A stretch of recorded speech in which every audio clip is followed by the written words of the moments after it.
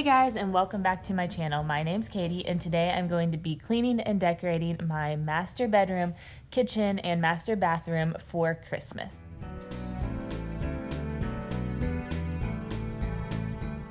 The first thing that I did in the master bedroom was put my clean clothes away and then I put on this comfy gray blanket that I got from Target. I actually got this last year but I checked and they do have it this year. It's super warm and soft and cozy.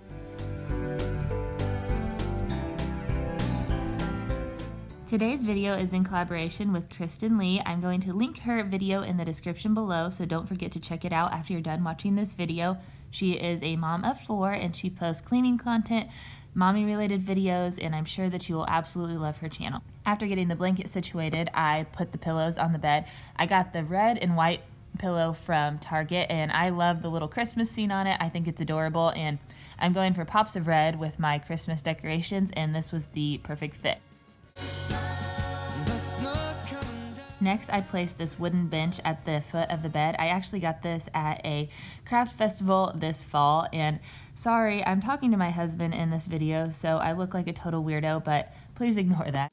I put this white throw at the very foot of the bed. I also got this at Target last year, and I think that it just looks cozy and warm. And on top of this, I put um, a white tray. I got this white tray from At Home in the fall time, and I just plan to decorate it with some Christmas accents. At the foot of our bed, I put a bin from Kirkland's and inside the bin, a blanket from Rural King. My husband actually made our headboard. I saw a picture on Pinterest that I really liked and we bought a cheap bed frame on Amazon and then he DIY'd the headboard and I painted it with some chalk paint. We ended up saving a ton of money and I think he did an amazing job and I think it looks perfect and beautiful and Christmassy. After this, I moved into my master bathroom and it was a disaster zone. That is not a lie. So, the first thing that I did was pick everything up and get everything off the counters and pick everything up off the floor and put anything away that I could. After clearing everything off, I used this method cleaner to wipe down all of my sinks and countertops.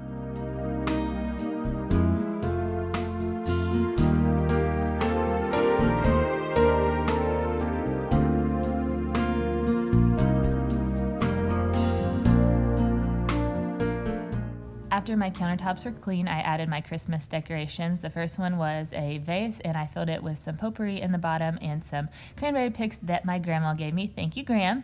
Then I added some greenery, and I just cut it to size to fit in between our sinks. And finally, I added a Bath & Body Works Christmas scented candle in this Christmas holder. And I actually got the Christmas holder this year, and I reviewed it in a product haul I got from Bath & Body Works. If you haven't seen that video, I will link it below. The scent of the candle is Spiced Apple Toddy. I'm not sure if they have that one this year. I know that I got it last year, but it made my bathroom smell like Christmas and it is amazing. The final thing that I added on my counter space was a clean white hand towel. I love white hand towels. They're super difficult to keep clean, but I think they're perfect, especially around the holidays. The final Christmas touch I added in my bathroom was a plaid shower curtain. And does anyone else hate putting up shower curtains? I feel like it, my arms get exhausted. But our normal shower curtain was due for a wash anyway. This color might be a little bit too dark for my normal taste, but for a cozy Christmas feel, I do really like it. Normally I have white in here, but like I said, that one was due for a wash, so it was perfect timing to change it out for Christmas. After I was done with my bathroom, I moved on to my kitchen. So the first thing that I had to do, of course, was clear off my countertops so that I could have a free space for decorating. My husband said that he was absolutely famished while I was trying to film this video, but as you can see, he went over to the fridge and didn't even get anything out. Isn't that just typical? After everything was cleared off, I cleaned the countertops with my Mrs. Meyer spray. And guys, I have to be honest, I'm not a big fan of the Christmas holiday scents. I love the fall ones, but I don't really like the pine and I don't really like the peppermint. So I guess I'm gonna have to wait until spring or whenever it is they launch some new fragrances. Until that time, I am going to use my honeysuckle variety.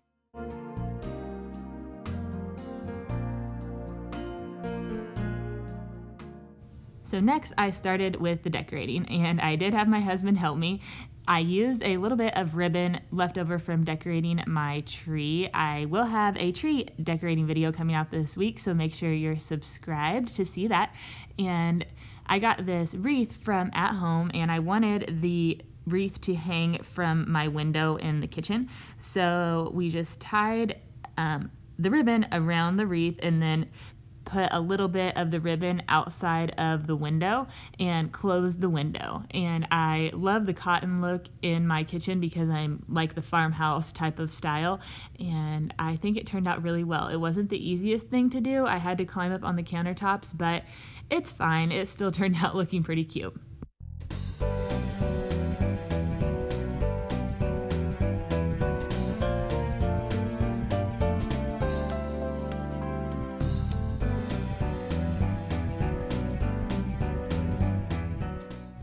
Next, I hung some Christmas hand towels from my oven and also from my dishwasher. I got these at Target. Target is my absolute favorite place to get hand towels, and they're also cheap. I got these in the dollar section, and they were $3. I also have this Christmas tree wax melter in the kitchen. And side note, my husband DIY'd our backsplash recently, and I love how it turned out. Beside our sink, I put these little Christmas trees. These also came from Target and they were $3. I like the little boxes that they're in and I think they're the perfect size to go right beside the sink. So this was the final result of my kitchen decorations. I did decorate my coffee station area in my previous Christmas cleaning video, so I will be sure to link that below if you're interested. And thank you so, so much for watching. I truly appreciate it, and I will talk to you in my next one. Bye, guys. Have a wonderful day.